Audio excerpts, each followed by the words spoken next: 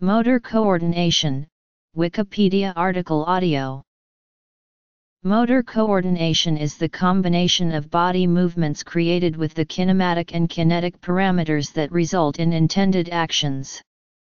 Motor coordination is achieved when subsequent parts of the same movement, or the movements of several limbs or body parts are combined in a manner that is well timed, smooth, and efficient with respect to the intended goal. This involves the integration of proprioceptive information detailing the position and movement of the musculoskeletal system with the neural processes in the brain and spinal cord which control, plan, and relay motor commands. The cerebellum plays a critical role in this neural control of movement and damage to this part of the brain or its connecting structures and pathways results in impairment of coordination, known as ataxia. Properties. Non-exact reproduction. Combination. Degree of freedom problem. Theories. Muscle synergies Uncontrolled manifold hypothesis. Types. Interlimb Intralimb Eye hand. Learning. Examples of motor coordination are the ease with which people can stand up, pour water into a glass, walk, and reach for a pen. These are created reliably, proficiently, and repeatedly, but these movements rarely are reproduced exactly in their motor details, such as joint angles when pointing or standing up from sitting. The complexity of motor coordination can be seen in the task of picking up a bottle of water and pouring it in a glass. This apparently simple task is actually a combination of complex tasks that are processed at different levels. The levels of processing include, for the prehension movement to the bottle, the reach and hand configuration have to be coordinated, when lifting the bottle, the load and the grip force applied by the fingers need to be coordinated to account for weight, fragility, and slippage of the glass, and when pouring the water from the bottle to the glass, the actions of both arms, one holding the glass and the other that is pouring the water, need to be coordinated with each other. This coordination also involves all of the eye-hand coordination processes. The brain interprets actions as spatial temporal patterns and when each hand performs a different action simultaneously, bimanual coordination is involved. Additional levels of organization are required depending on whether the person will drink from the glass, give it to someone else, or simply put it on a table. The problem with understanding motor coordination arises from the biomechanical redundancy caused by the large number of musculoskeletal elements involved. These different elements create many degrees of freedom by which any action can be done because of the range of ways of arranging, turning, extending, and combining the various muscles, joints, and limbs in a motor task. Several hypotheses have been developed in explanation of how the nervous system determines a particular solution from a large set of possible solutions that can accomplish the task or motor goals equally well. Nikolai Bernstein proposed the existence of muscle synergies as a neural strategy of simplifying the control of multiple degrees of freedom. A functional muscle synergy is defined as a pattern of CO activation of muscles recruited by a single neural command signal. One muscle can be part of multiple muscle synergies, and one synergy can activate multiple muscles. The current method of finding muscle synergies is to measure EMG signals from the muscles involved in a certain movement so that specific patterns of muscle activation can be identified. Statistical analyses are applied to the filtered EMG data to determine the number of muscle synergies that best represent the original EMG. Alternatively, coherence analysis of EMG data can be used to determine the coupling between muscles and the frequency of common input. A reduced number of control elements are combined to form a continuum of muscle activation for smooth motor control during various tasks. These synergies work together to produce movements such as walking or balance control. Directionality of a movement has an effect on how the motor task is performed. Researchers have measured EMG signals for perturbation applied in multiple directions in order to identify muscle synergies that are present for all directions. Initially, it was thought that the muscle synergies eliminated the redundant control of a limited number of degrees of freedom by constraining the movements of certain joints or muscles. However, whether these muscle synergies are a neural strategy or whether they are the result of kinematic constraints has been debated. Recently the term of sensory synergy has been introduced supporting the assumption that synergies are the neural strategies to handle sensory and motor systems. A more recent hypothesis proposed that the central nervous system does not eliminate the redundant degrees of freedom, but instead it uses all of them to ensure flexible and stable performance of motor tasks.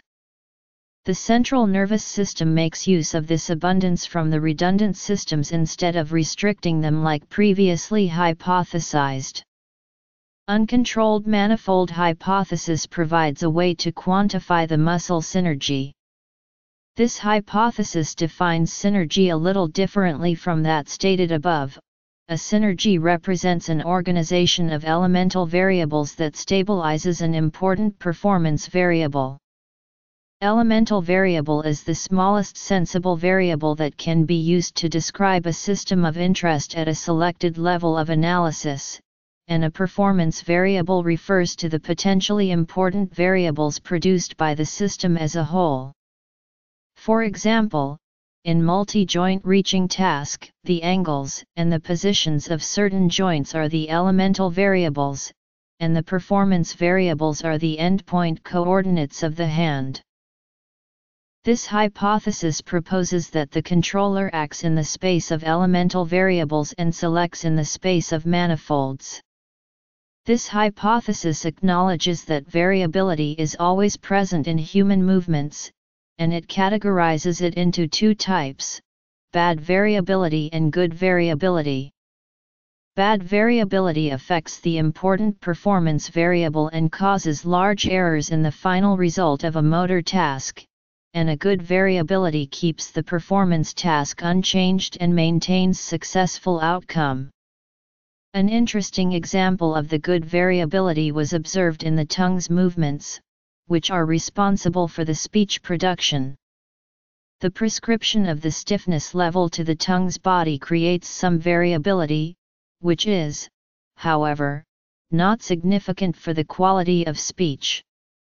One of the possible explanations might be that the brain only works to decrease the bad variability that hinders the desired final result, and it does so by increasing the good variability in the redundant domain. Interlimb coordination concerns how movements are coordinated across limbs. J. A. Scott Kelso and colleagues have proposed that coordination can be modeled as coupled oscillators, a process that can be understood in the HKB model. The coordination of complex interlimb tasks is highly reliant on the temporal coordination. An example of such temporal coordination can be observed in the free pointing movement of the eyes, hands, and arms to direct at the same motor target. These coordination signals are sent simultaneously to their effectors. In bimanual tasks, it was found that the functional segments of the two hands are tightly synchronized. One of the postulated theories for this functionality is the existence of a higher, coordinating schema that calculates the time it needs to perform each individual task and coordinates it using a feedback mechanism. There are several areas of the brain that are found to contribute to temporal coordination of the limbs needed for bimanual tasks, and these areas include the premotor cortex, the parietal cortex, the mesial motor cortices, more specifically the supplementary motor area, the cingulate motor cortex, the primary motor cortex, and the cerebellum. Intralimb coordination involves the planning of trajectories in the Cartesian planes. This reduces computational load and the degrees of freedom for a given movement, and it constrains the limbs to act as one unit instead of sets of muscles and joints. This concept is similar to muscle synergies and coordinative structures. An example of such concept is the Hogan and Flash minimum jerk model, which predicts that the parameter that the nervous system controls is the spatial path of the hand, i.e. the end effector.